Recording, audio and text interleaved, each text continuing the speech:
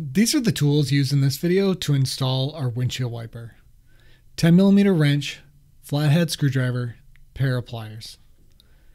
The wiper we're installing today is the Sea-Dog chrome-plated brass hand wiper. The package comes disassembled in three parts. First thing I'm going to do is take apart the wiper shaft by removing the handle with the flathead. Then I unscrew the collar Separate the rubber washers and remove one of the washers and the metal one above it. Next, we'll assemble the wiper arm and blade. The arm and blade are attached by lining up this little circle on the sliding mechanism. I pull out this metal rod and then slide it through the slot on the blade connection side until the circle sits nicely in the hole. Next, I'm going to take the wiper shaft and slide it into the wiper arm connection, which gets tightened with a 10mm wrench.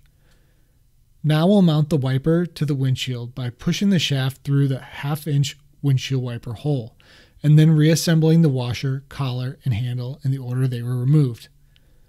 Make sure the rubber washers are both making contact with the windshield.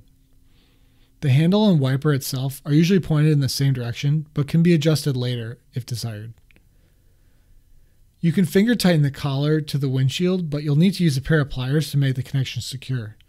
Make sure the wrench does not come in contact with the windshield itself or you will make scratches. Now you can test it out. If your handle and wiper don't move together, you need to tighten the 10mm bolt until they move in unison. With your wiper fully assembled, you can go bask in its glory. Hey, this is Paul from Streetwise Carts, and before I let you know that this video is part of our free street legalization mini course available at streetwisecarts.com. Signing up for this course also gives you our downloadable parts buying worksheet. This free mini course is the installation portion of our full street legalization course that goes over all the state paperwork and compliance issues that you need to be aware of when converting your golf cart to a street legal LSV.